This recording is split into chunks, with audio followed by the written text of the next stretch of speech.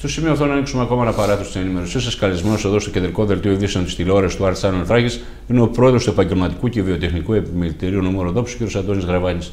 Κύριε Γραβάνη, να σας καλησπέρισω. Καλησπέρα και σε εσάς και στους τηλεθεατές σας. Ε, Δημοκρίτου Πανεπιστήμιο Θράκης ώρα 0 υποβαθμίζεται, υπάρχει στοχευμένο σχέδιο μετά και την άψογη συνεργασία που έχετε το τελευταίο χρονικό διάστημα τη συνεργασία που έχετε συνάψει με το ίδιο το Δημοκρίτιο Πανεπιστήμιο Θράκης. Στο Δημοκρίτιο Πανεπιστήμιο Θράκης αποτελεί το βασικότερο θεσμό εδώ στην περιοχή. Είναι άμεσα συνειφασμένος και με την κοινωνική και με την ε, οικονομική και με την πνευματική ανάπτυξη της ε, περιοχής. Είναι το καμάρι μας. Ε, πρέπει να καταλάβουν όλοι, κυρίως εκεί στην Αθήνα, ότι το Δημοκρίτιο Πανεπιστήμιο Θράκης αποτελεί, αποτελεί για μας κάτι πάρα πολύ βασικό και δεν υπάρχει περίπτωση σαν κοινωνία, σαν φορείς, να δεχτούμε οποιαδήποτε αποδυνάμωσή του. Οποιοδήποτε προσπαθήσει να αποδυναμώσει το Δημοκρίτιο Πανεπιστήμιο Θράκης, αυτό θα είναι ένα έγκλημα. Τώρα, πάμε όσον αφορά τα γεγονότα τα οποία διαδραματίζονται τις τελευταίες μέρες. Την προηγούμενη εβδομάδα έγινε γνωστό ότι με απόφαση του Υπουργού ε, δεν θα προχωρήσει η συνένωση του ΤΕΗ Ανατολικής Μακεδονίας Θράκης με το Δημοκρίτιο Πανεπιστήμιο ε, Θράκης.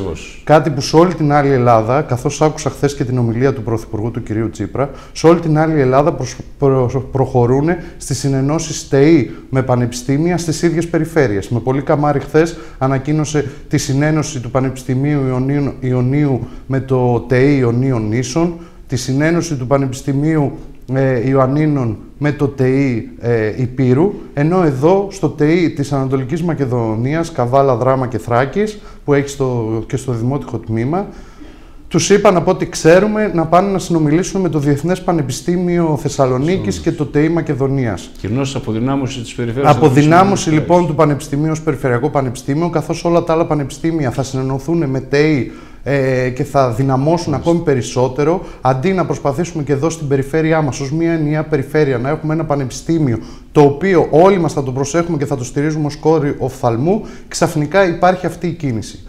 Και χθες μαθαίνουμε διαστόματος του Υπουργού και μετά από τον κύριο Πρωθυπουργό ότι θα δημιουργηθεί και μια τέταρτη νομική στην Πάτρα. Έχουμε μια τόση μεγάλη ανάγκη, κύριε Γαβάνη, από Μα, παραπάνω δικηγόρους. Αυτό, και... αυτό ακριβώς.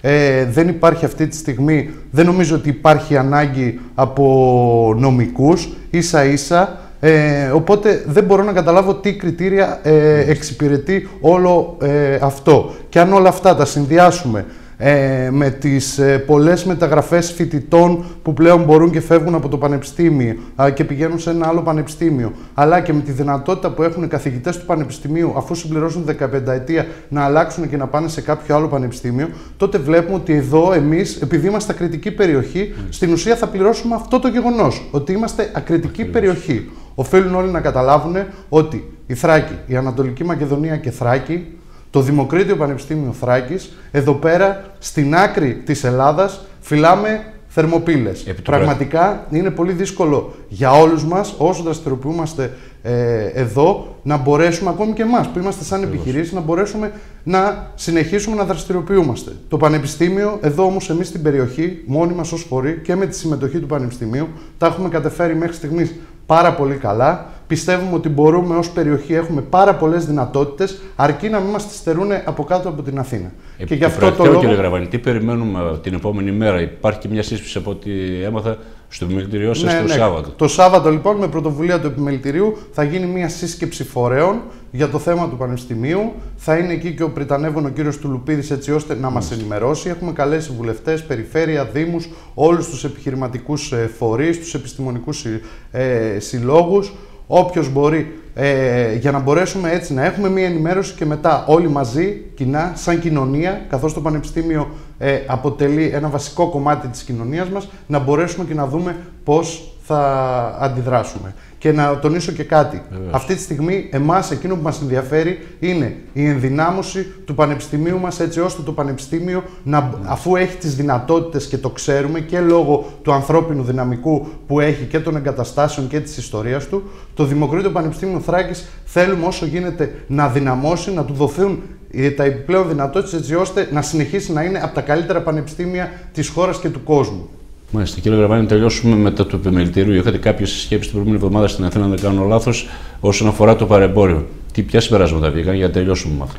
Είχαμε συσκέψεις στο Υπουργείο Οικονομικών με την κυρία Παπανάτσου, την Υφυπουργό Οικονομικών, αλλά και στο Υπουργείο Ανάπτυξης με το Συντονιστικό Κέντρο Αντιμετώπισης Παρεμπορίου.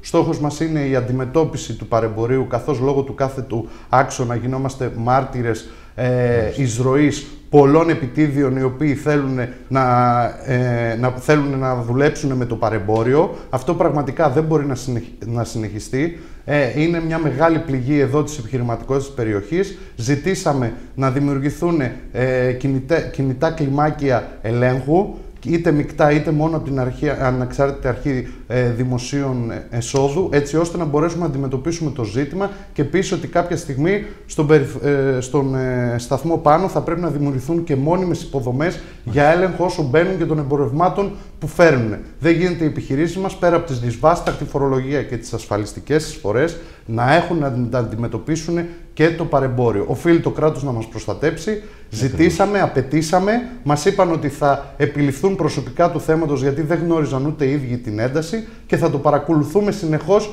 μέχρι ε, ως ότου τα δίκαια αιτήματά μας γίνουν πραγματικότητα. Είδαμε λοιπόν. Κύριε Γραβάνη, να σας ευχαριστήσω πάρα πολύ. Εγώ σας ευχαριστώ. Καλή νύχτα.